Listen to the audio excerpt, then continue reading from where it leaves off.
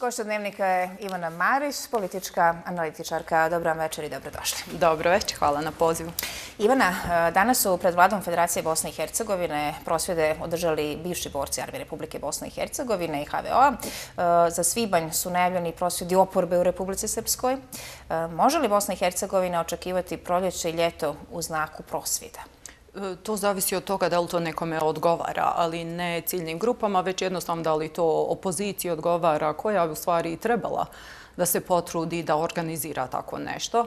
Međutim, mislim da neće baš biti toliko. Evo vidimo, penzioneri su mirni, penzije nisu stigle još uvijek, a oni se ne bune, iako je bilo ranije dogovora da će biti isplaćivane penzije do određenog datuma u mjesecu, oni se ne bune, to je ono nekako struktura građana koja se prva pobune, a kad oni e, već sada šute, znači da ostali teško da će se e, bilo kako pokrenuti. Tako da mislim da nećemo uopće imati neke velike proteste pobune. Smatrate li da je javnost u Bosni i Hercegovini generalno pasivna i zašto je to? Pa jeste, jeste, dosta je pasivno, to smo i vidjeli. Evo, čak i kada se pobunimo, evo, proteste koje smo imali u februaru prije dvije godine, u stvari su bili jako e, malo brojčani. Vidjeli smo u Islandu, e, situacija je bila kada je veliki procenat građana izašao na izbori i e, na proteste i tačno su znali šta želi i to su dobili za dva dana i razliš se. Jedino u štetu koju su napravili je to je da su zgradu vlade gađali jajima kad se sjetimo naših protesta, vidimo kako je mali procenat građana napravio tako veliku štetu za koju smo mi platili. Možda i bolje što smo mirni i što, što ne izlazimo na proteste. E, zašto je to tako? Ja često znam reći da je to zato što je e, većini građana dovoljno dobro.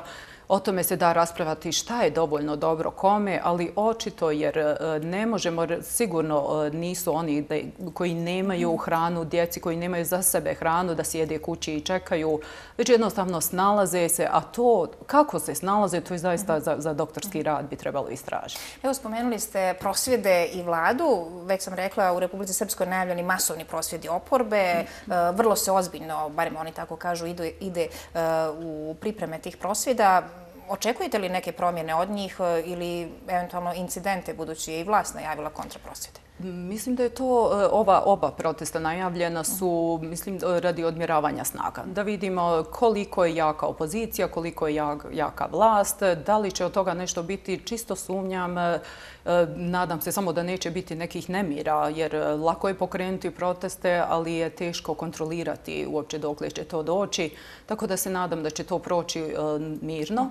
A da će nešto postići sumnjam zato što opozicija i ne zna šta traži. Oni uopće nemaju imaju jasne zahtjeve. Da bi uspjeli, morali bi imati jasne zahtjeve. Nije dovoljno da izađete na protesti i da kažete da ste nezadovoljni. Morate znati šta tražite da biste to mogli i dobiti. Druga stvar koja je bitna je e, ta da ako budu tražili e, promjenu vlade, oni sigurno neće ući u vladu. Opet će vladu sastavljati SNSD i Dodik, što bi njemu čak i odgovaralo ispunio bi uvjete demonstranata, a njemu bi odgovaralo, jer bi onda rekao, evo sad imamo novu vladu, ona stara je bila jako loša, nismo mi za to krivi, ali evo sad ova nova, počinjemo iz početka, pa novih sto dana vlade, tako da bi njemu to čak išlo i u prilog. Ili jedna vrsta predizborne kampanje možda? Jeste, jeste, naravno. S jedne strane predizborna kampanja, s druge strane e, krugovi oko Dodika se zatvaraju vezano za, za e, istraguje protiv e, kriminala i ostalih stvari. Vidjeli smo i nova hapšenja, da je on tu garantuje za direktoricu razvojne banke da je radila po zakonu.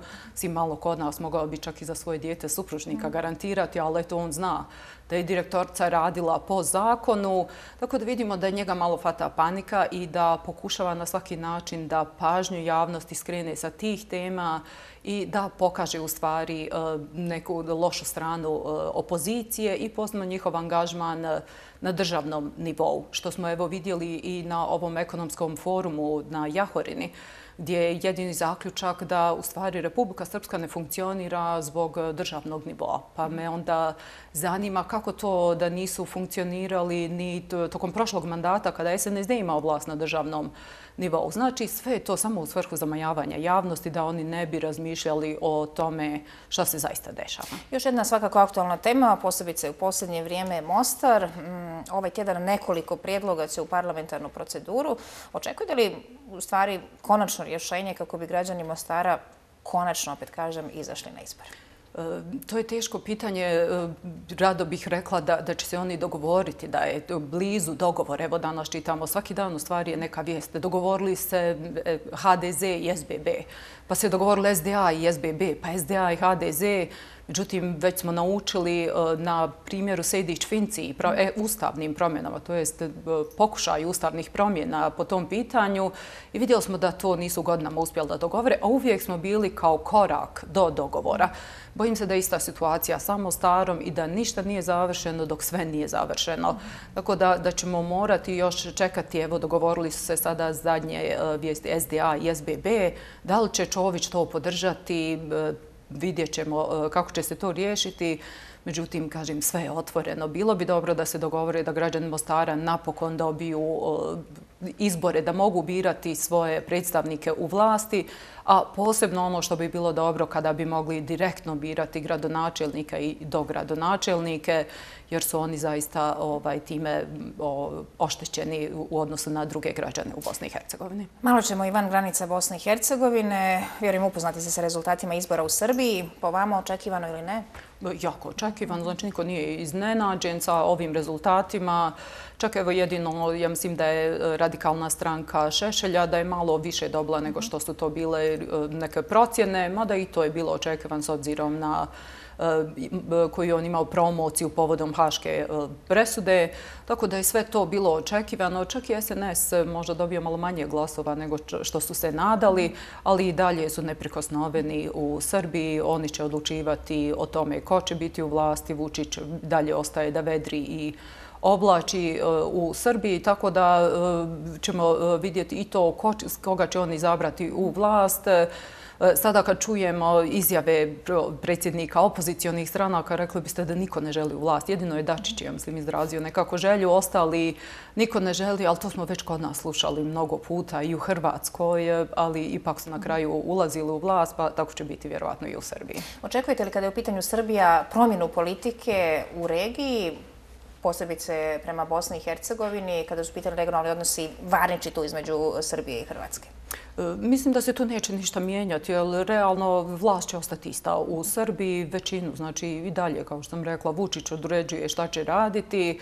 E, njima je sada prvenstven cilj ulazak, približavanje u stvari Evropskoj uniji, daleko je razgovarati o ulasku u Evropsku uniju, tako da će oni raditi sve što je u skladu sa tim. Naravno, on će imati izlete kao što ih je imao i ranije, e, primjera da je došao na proslavu Dana Republike Srpske, iako je to proglašeno neustavnim, e, ali on na tom svom dolasku onda održi pridiku da odiku i kažemo da mora živjeti sa bošnjacima i hrvatima, tako da će on uvijek balansirati balansirati na žici, davaće malo e, nekako hrane i tim nacionalistima, ali će e, davati onda i sa druge strane e, hranu i u Evropskoj uniji koja u stvari odlučuje o tome E, o njihovom putu daljem. Tako da mislim da će da se za Bosnu i Hercegovinu neće ništa značajno promijeniti. On je čak i e, stabilizirajući faktor, možemo to reći, za, za Bosnu i Hercegovinu. Vidjeli smo te neke sukobe između njega i Izet Begovića. Kada treba, on prešuti, nekad izignoriše, nekad odgovori. Ako mu treba, onda malo žustrije odgovori pa se povuče. Uglavnom, nekom svojom e, mudrom politikom on to izbjegne, izgladi ponovo i onda ga čak počnemo gledati kao mirotvorca. Čak i bošnjačka strana, pa smo imali situaciju da ga načelnik Srebrenice čak poziva da pomogne u rješenju pitanja Srebrenice, znači on ga poziva da se on umješa unutrašnju politiku Bosne i Hercegovine. Sa Hrvatskom će biti trzavica, ali i to će e, Evropska unija na neki način srediti, jer i Hrvatska i Srbija su na neki način pokušavaju kao e, možda da uporedim sa, sa djecom koja malo provjeravaju koliko će ih roditelji pustiti daleko da, da odu pa se vrate ako su pretjerali. Tako da će oni pokušavati, Hrvatska će vjerovatno pokušavati da oteža put Srbiji na legalan način i na dozvoljen način. Evropska unija će zbog toga vjerovatno malo e, pokušavati zadržati, a Srbija će e, raditi sve da, da krene, da dalje ide tim putem. Srbija je završila barem za sada sa izborima, mada su oni skloni tim vanrednim izborima. Međutim, lokalni izbori su pred Bosnom i Hercegovinom. Mnoge stranke se okupljaju, grupiraju, između ostalih oporba u Republici Srpskoj, ali i stranke Ljevice u Federaciji Bosne i Hercegovine. E, kakav ishod očekujete? Može li se već sad nešto govoriti o tome? Pa e, teško, mislim da neće biti nekih većih promjena isto na lokalnom nivou, pošto e, to je ono što je i dobra strana, da lokalni nivo je dosta i odvojeno od državnog nivoa, jer e, tu građani imaju direktnu vezu sa načelnicima i zaista biraju ljude koji su im bliži i koji i načelnici u stvari više imaju dodira sa građanima i mnogi od njih su promijenili svoju stranku ili odustali od svoje stranke da bi ostali vjerni građanima. Tako da nećemo tu imati imati, ja mislim, nekih većih promjena. Bilo bi šteta da se ljevica ne ujedini, jer razjedinjena, bar za načelnike, a za općinska vijeća to onda mogu se već i razjedinjeni ići, ali za načelnike mogli bi izgubiti dosta pozicija koje sada već možda e, drže, a to nije dobro, jer nije dobro da jedna stranka ima tako veliku e, E, većinu, veliku prednost da osvoji što veliki broj e, općina ili da u općinskim vijećima ima apsolutnu većinu. U Republice Srpskoj opozicija je ujedinjena i to će sigurno uroditi plodom ako ostane ovakva situacija kao što je do sada da je odlučeno da idu zajedno svi protiv e, Dodika. Mislim da će uspjeti. Tamo će se najveća bitka voditi ipak oko Banja Luke jer time bi zadali zaista veliki udarac SNSD ako bi nakon toliko godina preuzeli vlast u Banja Luci i ono što ostaje da vidimo da li će Mostar imati priliku nakon toliko godina da glasa i posebno znači, da građani biraju gradonačelnika. To bi mogli već znati u srijedu nakon sjednice parlamenta. Ivana, hvala lijepo e, što ste bili gošće Dnevnika TV. Bilo mi je zadovoljstvo. Molim. Gošta dnevnika bila je Ivana Marić, politička analitičarka u nastavku i druge vijesti. U Sarajevo su predstavljeni rezultati međunarodne policijske akcije Balkan Trigger koja je provedena na teritoriji Bosne i Hercegovine, Crne Gore, Hrvatske, Makedonije, Slovenije i Srbije. Rezultirala je rasvetljavanjem kaznenih dijela ilegalne trgovine vatrenim oružjem i eksplozivnim sredstvima. Na području Bosne i Hercegovine pronađeno je najviše oružja i droge. U akciji su uhićene 22 osobe, od kojih je šest sa međunarodnih potjernica. Iz Bosne i Hercegovine je 10 osoba. Akcija je trajala od 17. do 19. travnja.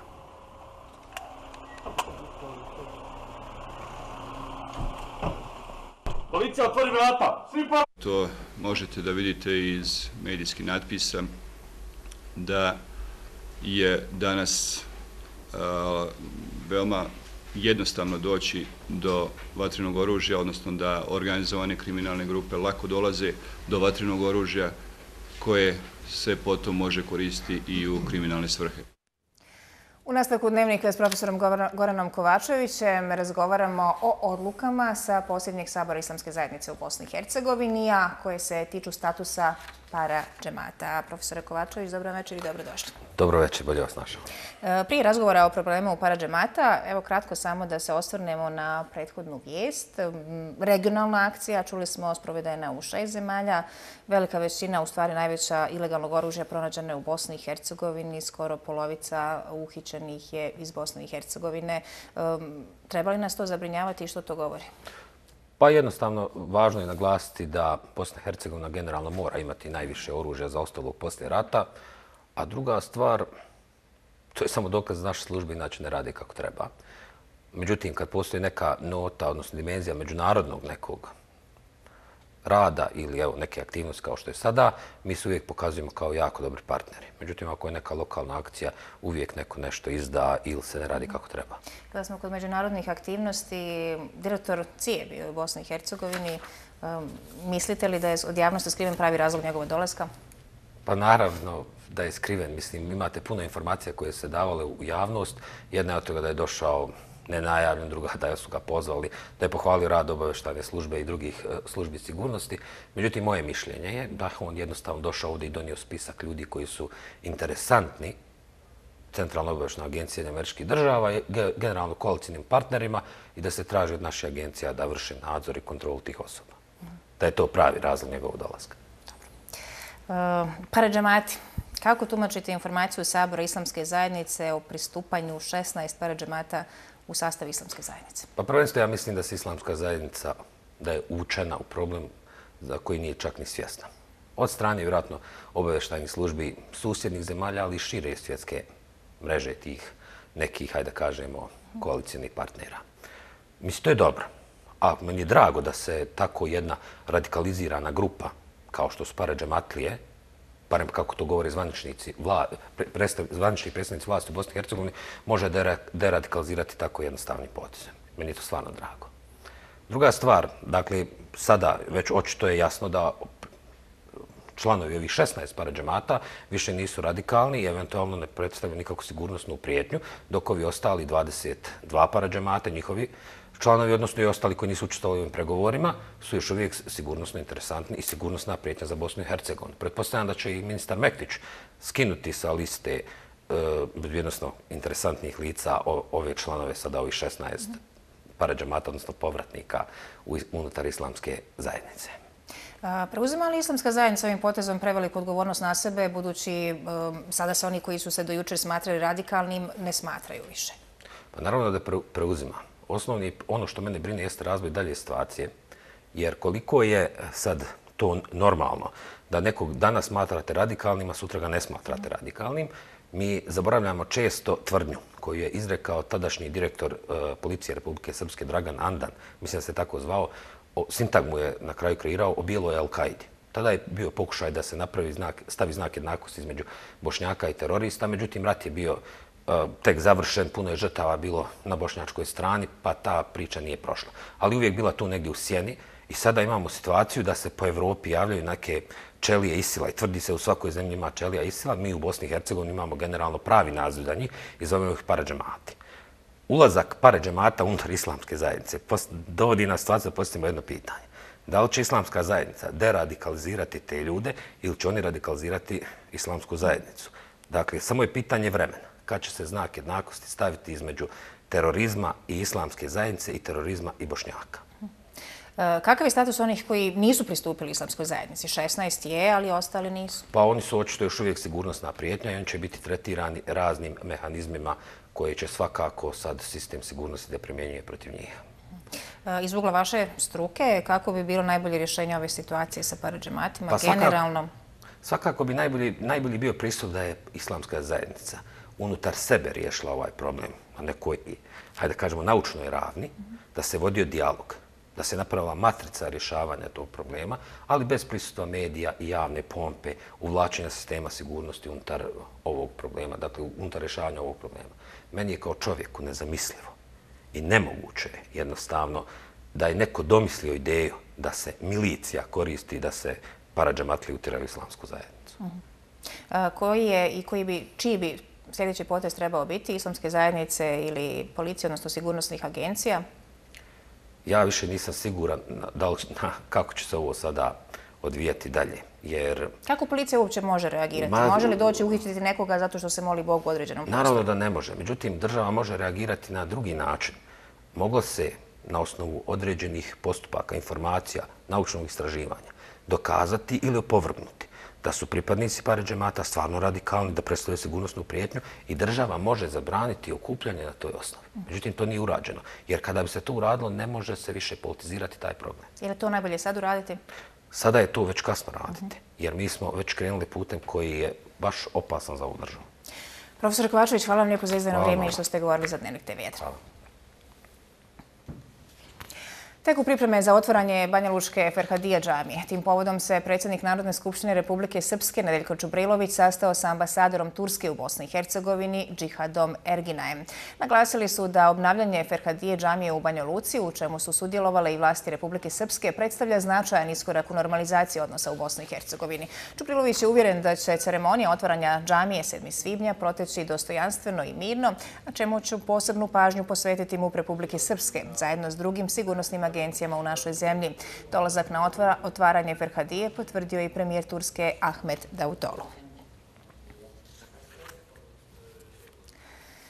U Nevesinju je jučer svečano otvorena Careva džamija koja je u ratu 1992. godine porušena. Careva džamija inače je jedna od najstarijih džamija u Bosni i Hercegovini. Nakon 8780 dana, jučer prvi put nakon rata u ovoj džamiji je klanjan namaz. Svečanost otvoranja okupilo je brojne mještane, goste, zvanice, ali najviše dužnosnike iz vjerskog, društvenog, političkog i javnog života u Bosni i Hercegovini.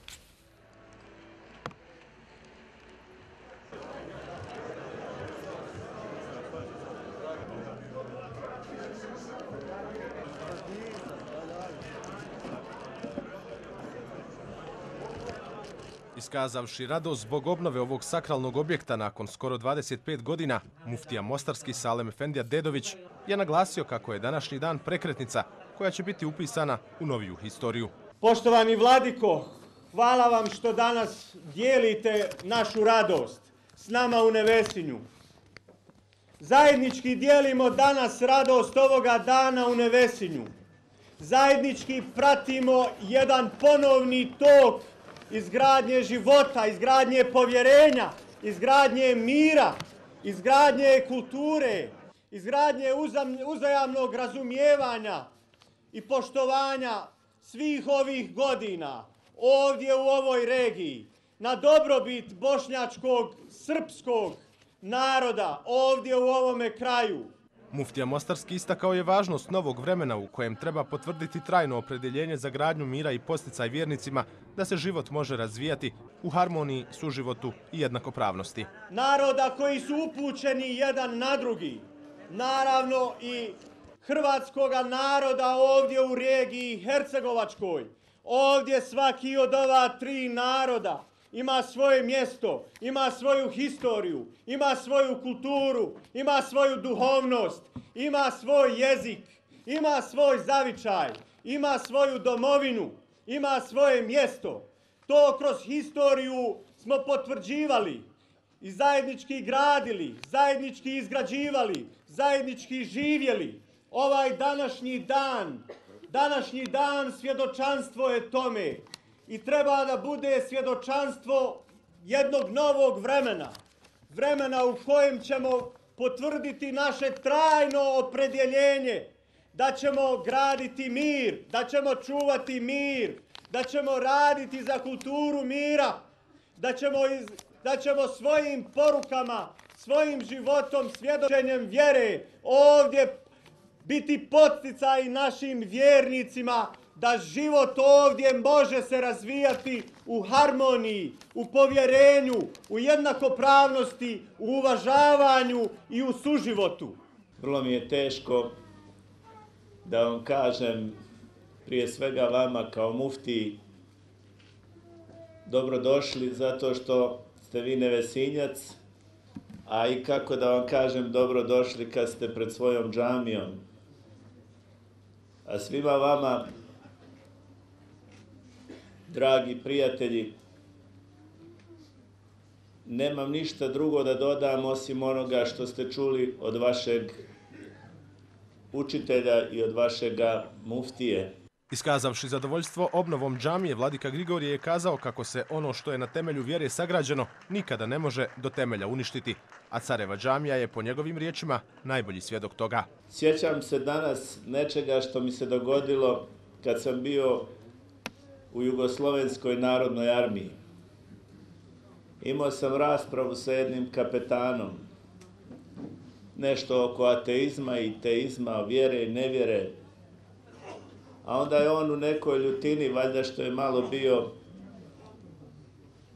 slabiji u tom dijalogu, rekao da bi najradije porušio sve crkve i džamije.